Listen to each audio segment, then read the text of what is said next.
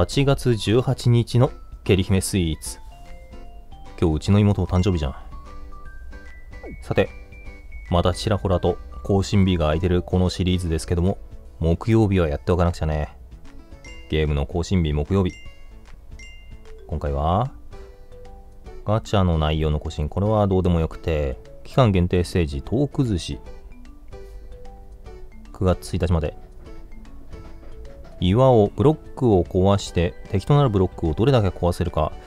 じゃあ、広範囲系がいいのかなで、グーバツ、チョキバツ、パーバツあるけど、これ、エレメントとか、そこら辺で全部いけんのかな全滅させなくてもクリア扱い。1日2回まで。なるほど。まあ、この辺りはね、読めばわかるんだろうけども、実際にやってみて確認しましょう。うん。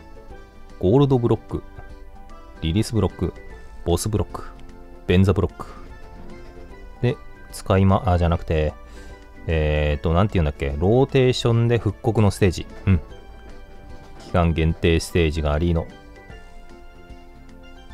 でもね、これは前もあったやつよね。スペシャルボス。うん。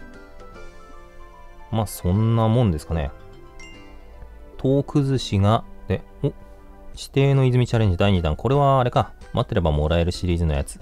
で、ゲットバス夏祭り。これも更新あるね。期間限定ステージクリアで報酬ゲット。なんか増えた？遊びましょう。なるほど。復刻ステージで。達成報酬が増えてるとかだったらいいけどね。なかなかあまりそういうのもないけど。うーん、そんなもんですかね。とりあえず、まずは、無料スロットがありますんで、王立水蔵図書館。あー、持ってるやつか。せめてニューアイテムが欲しいところだよね。じゃあ、それでは、これか。ブロック、トーク寿司。そしたら、このグーチョキパン、あ、ちょっと待てよ。広範囲系がいいだろうから、うん。としたら、買う着物とか範囲でかいけど、うーん、何がいいかね。とりあえずカイトを打ってみるつもりだけど、ピッピッピって、うん、エンターテイナーも。うまくいけば、ね、複数回移動、移動じゃないや、行動してくれるし。で、全部倒す必要はないけども、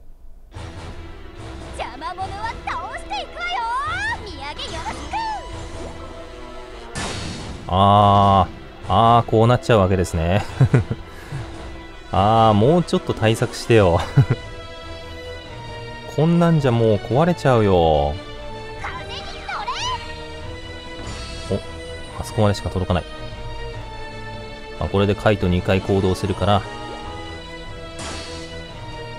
固定ダメージ。しかしこのヒット数でどうにもなるか。あ、でもボスブロックは結構必要だね。うん。完全にヒット数で。ヒット数多いんだとなんだろうなジャッジメント、まあまあヒット数あるよね。うちの後メンツだと、うーん、天空人かな。で、プリンセスオーダーもあるから、それを使ってね、うん、手数を増やすってのも大事ですね。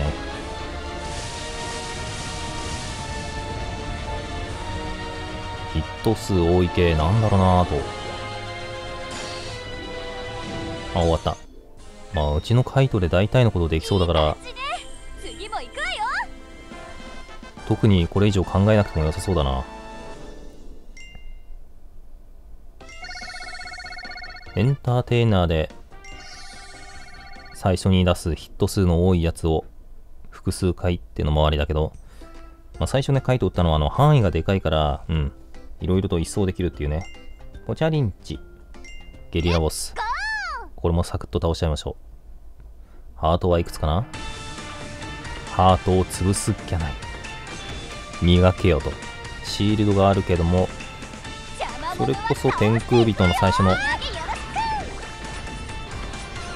ヘズリーの本番の太陽の属性の攻撃で一丁いいね蝶が出ると気持ちいいねでこれでまあヒったからもしかしたらシールド復活もないかな？いいね。スーパーロボ。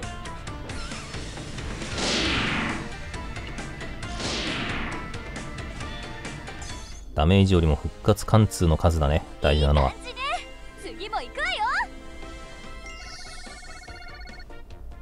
一戦で終わらす必要はないけどもゲリラボスはもう大体1回のチャレンジで倒せるようになっちゃったな。